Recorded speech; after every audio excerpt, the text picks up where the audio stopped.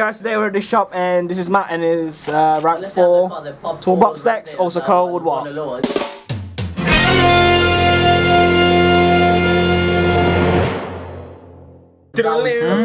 What's the deck also called? Uh, 101.deck, as I like to call it. It's, yeah, I literally just play 101, that's it. You Okay. just go 101 and steal everything I love. Okay, let's Right, go ahead with the deck straight profile then. Yep.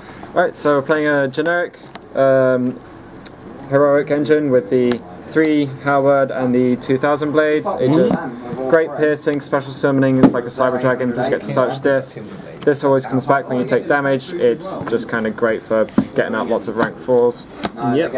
Then you got two Summoner Monks for searching out your rank 4s as well. This is mainly for Sacred Crane or Star Drawing, which we'll see in a minute. So for the draw power, it's great because you, sometimes you have a lot of dead spells as well.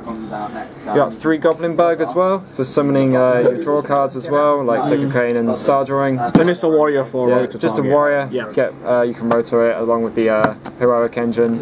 Yeah. So it's just really consistent. You get an extra summon from your hand as well. MVP of the deck, three Sacred Crane. Best card, best card. Too strong. It's a compulsory draw card of whenever you special it.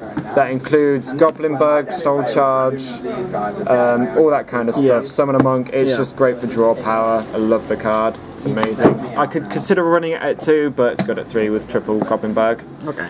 We've got three star drawing, again for draws. Um, exceed with it, draw a card. If you've got two, you can even go to a five. I don't run any because it's super inconsistent. Mm-hmm. But again, just draw power, get to all your nice cards, just keep going with the deck. Yep. We've got two cage to cage. or- Cage to cage. Cage to cage, or Kageto Kage, as you like to call it. Yep. It's good if you've got a dead Star Drawing in your hand and no Goblindbergh, as well with um, the Thousand Blades, free rank 4, plus good first turn play generally tends to be uh, going to King of Feral Imps, Yep. and then you can search it out, and if you get two searches with King of Feral Imps, if they leave it on board, you'll generally win the game, because you've got too much advantage at that, at that point.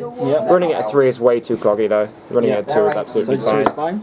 Then you got one Photon Thrasher to round it all up. Yep. It's a great stick, um, just 21, special summon it if you've got no monsters. Also Just- ROTA target. also ROTA target, yeah. It's just massive stick, uh, nice to get out rank force as well. Just generally a good card. One of because two is too cloggy.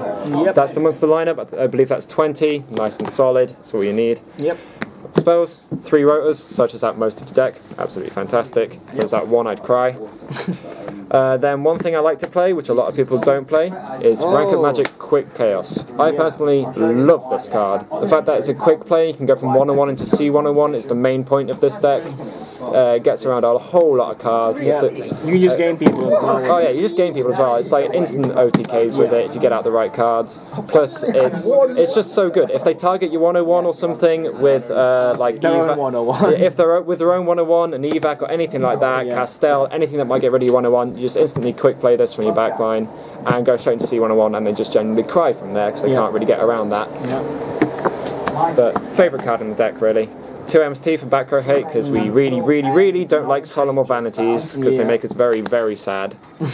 Uh, same thing with Lance, keeps your 101s and your C101s alive if they're going to do anything like so, um, Bottomless or Evac or D-Prison is the main one that I really hate. But just a nice card. Stops massed heroes as well if they try to Mask Change. Play one Dark Hole because, partially because I don't own a Raigeki, So that would be a Raigeki. that would be a Raigeki. Also, with C101, if you blow it up on your own side of the field, uh, you gain life points and it comes back. And you can even activate its effect again if the got monsters that can't be destroyed by card effects. So you can steal two monsters in one turn if they're doing that kind of thing. Nice card, murder the field, generally good. Same thing with Book of Moon, nice outs to whatever you need, stops like nasty things. Foolish Burial gets your Thousand Blades in your grave. Very, very, very good for getting that in there. Starts a lot of plays going. Uh, or you can combo it with Sacred Crane and Soul Charge. Get those draws off of Soul Charge when you special summon Sacred Crane. It's so good. I love it. I did it once. You Soul Charge three Sacred Crane. You get three draws, and it's. It You have to draw. Yeah, you have to draw. have to draw. It's compulsory. It's not optional. It doesn't say if. It, Mate, if you're gonna deck out, you have to draw. yeah, oh no. you just have to. Like, you're gonna deck out, don't care. Summon Sacred Crane. Alright, that's all your spells. Yep. Nice lineup there, generally solid. It, all it is is really just a solid deck with lots of rank 4 toolbox. Trap lineup, Tomb Fiendish Chain to stop nasty, nasty things such as other 101s and Castels, because we don't like those, because we like to keep our 101 on the board. well. Yeah, Exciton Knight really hurts as well. Not as much because you can keep 101 on the board, Yep. because it doesn't die, but otherwise, yeah. Uh, yeah, you got one TT because it's TT. We're playing generics. TT, Solemn, Evac, Vanities, and good. They're just good back row. Stops a lot of hate from monsters. Um, Mm. Even monsters. Show. I don't know why I use that word. Yeah, monsters. Mm, yes, monsters. Yes. Not monsters. Uh, even allows it to so- these just back row allows you to stand up to a whole lot of matchups which would otherwise be kind of nasty. Yeah. Even sometimes even Nekroz I've beat with this deck because you just solemn Trish and then you win from there. Yeah. But otherwise that's the deck. It's completely card deck? solid. Yeah, completely solid deck. That's all you really need. Goes into lots of rank fours. Now to the extra deck, which is really the entire point. Yep. You got one Abyss Dweller because it stops a lot of nasty things in the grave. Upside down again. This was shuffled. Uh, it's just nice. It's a great out to quite a lot of decks, especially in the Scrub League, which is where I play this deck. Nice card. Excalibur, because you can get this guy out with two warriors, which does happen more often than you think. And Thousand Blades' uh, first effect, which not a lot of people realise, and even I sometimes don't because I'm really bad at this game, is if you've got him on the field and you've got another one or Assault Halberd in your hand, you can discard it, special summon another heroic from your deck, and go straight into Excalibur. Absolutely So fantastic. it's like a mini summon among. Yeah, it really is. It's really good. It's even an out to towers if you ever find yourself up against that, Yep. which is really quite irritating. Yep. So Excalibur, really nice card just to get over massive sticks. Ragnazero, really, really good card. I'd suggest playing this at one all the time. Yep, I good might even consider it at two. Yep. There is a C version of it. There is a Chaos version, but I don't run it because it's not fantastic. It's not really worth one. it. Alright. This blow up a card that's got different attack or whatever. Draw a card. Nice draw power. Nice removal. Mm-hmm. One Black Ship of Corn. This is only here because I don't own an Exciton Knight. So you would play Yeah, Exciton. I'm playing Sight Knight instead of this because 101 gets rid of anything this would get rid of anyway. Yeah. You got one Heartlandraco. Uh, personally, this is again because I don't own a Cowboy, but I actually prefer it over Cowboy because if they don't Really? have, yeah, I much do prefer it because anything that would stop a Cowboy generally stops this as well, and this is just 2k for face, which can get you game a lot of times. I've gamed with this card so many times, it's absolutely ridiculous. Okay. Love the card. You got a Gagaga Samurai. Uh, if you need to push for lots and lots of damage while I've got an open board, this is just amazing. Just two attacks at 19, 38 damage straight away. It's just good.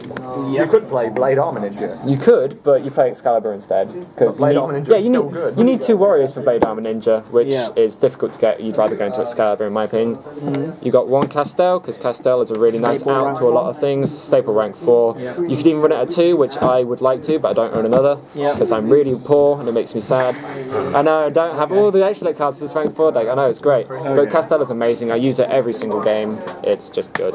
Got one OG Utopia because Utopia nobody expects and actually stops a lot of things from happening. amazing. It can stall you out enough time to get back into your 101s Yeah. or Castels or whatever, and you just win the game from there. Yeah. It's a 2-5 stick as well. It gets over what most people can put out. Does Utopia have a Chaos rank up? Uh, it does. I don't run it because I don't have a lot of room, Room, yeah. and there's there's so many rank ups for it. It's Okay. just Yeah, you don't know which one to run. something. It's, yeah. Alright. Right. Main stakes of the deck: two 101s. I'm even going to get a third because people hate this card. I've had someone completely just- Indestructible. yeah, I have someone walk out the shop before because I summoned three of these in one game and took everything they loved. It was hilarious. You look a little. So two, one, two of these is absolutely fantastic. Along with the two rank, along with the rank of magics, you go into its big boss C101. Yep. Again, same thing. You don't need materials to uh, just take a special summon monster. It doesn't matter what position it's in, as long as it's special summon its face up. You just take it.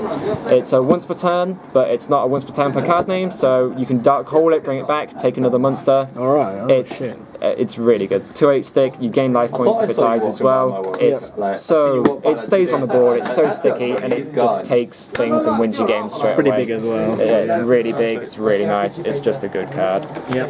Uh, some other cards that we run. We run a Rhapsody. Um. It gets rid of nasty cards in the graveyard that might be triggering effects. Plus, you can give uh, another card an extra 1200 attack. It's just really good for giving other things sticks. And you also can rank it up into its uh, Requiem and Berserk, which I love. The only reason I play this is because this exists, um, where it's not a once per turn. Uh, you can ban- you can detach material, banish a card on the field. That's crazy. It's not a once per turn. You can banish up to three cards if they can't stop it. It straight up wins games. You can give another guy 2k by attaching it. It's such a good card. It's, I just have a lot of love for it. I don't know why. I just play it in the deck. And to round it off, you have C, X, Y, Z, Barian, and Hope. The reason I run this is because if they respond to your C101 with things like Fiendish Chain and stuff, you put this guy straight on top, Yep. and um, he becomes a 4k. If you've absorbed something with it uh, once or twice against 5k as well sometimes. yeah, I've had this guy get up to 8k before because you took three things over three turns, went straight into this guy and went straight for perfect face for the game. It's it's a good card. If they respond to your C101 and doesn't don't remove it from the board, you go straight into this and just beat them down with it. Otherwise, it's fantastic. All right, thanks for that. You want to say anything else before we finish the video? Um, I love the deck, I really do. However, Clownblade is ultimately 100% better, and you run that in every single instance. So that's your new build for this deck, then I'm guessing. Uh, I play Clownblade now. I played this before it came out, but Clownblade is just better. All right, no we'll be looking forward to your next deck profile. Thanks, Matt. Cheers.